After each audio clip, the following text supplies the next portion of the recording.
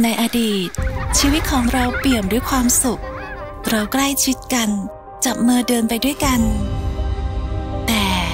นับตั้งแต่วันนั้นเป็นต้นมา เราต้องใช้ชีวิตอย่างระมัดระวัง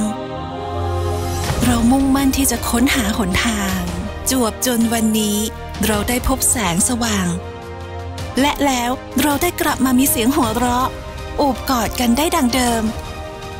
ใกล้ชิดกัน จับมือเดินไปด้วยกัน และกลับมาหายใจได้อย่างอิสระ